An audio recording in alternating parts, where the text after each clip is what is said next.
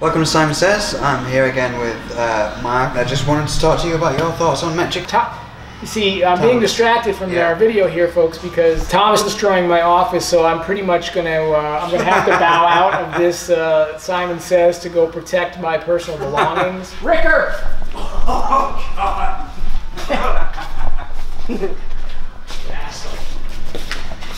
Now,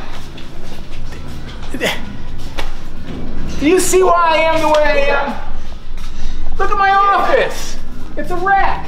This is all my personal stuff. You realize that this is this is the guy that we trust with our motorcycles, folks.